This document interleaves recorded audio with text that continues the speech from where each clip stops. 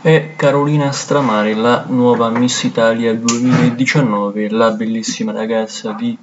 origini lombarde, la numero 3, supera in finale la bella Serena Petralia della Sicilia e la padovana Semmi Fernando. Carolina dunque va a vincere la edizione numero 80 di Miss Italia, il famoso concorso di bellezza per eccellenza, quella del ritorno della manifestazione in Casarai.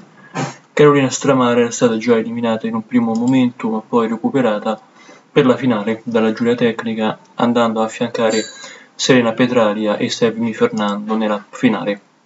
È riuscita a vincere, è riuscita a sbancare, è riuscita a ottenere la faccia come regina di bellezza incontrastata, questa ragazza così bella, così sexy e così affascinante, una vera e propria Venere moderna mi sento di dire per quanto riguarda la fanciulla in questione. Giovanissima, è nata il 27 gennaio del 99 a Genova, un diploma in liceo linguistico, iscritta a un corso di formazione di grafica e progettistica all'Accademia delle Belle Arti di Sanremo in Liguria e da tre anni lavora in qualità di modella.